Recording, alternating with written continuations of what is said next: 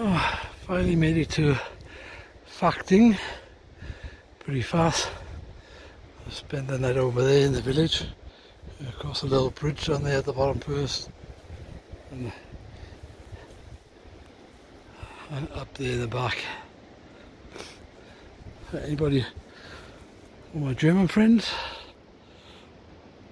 we have Hermann Helmers, Bäckerei and Konditorei.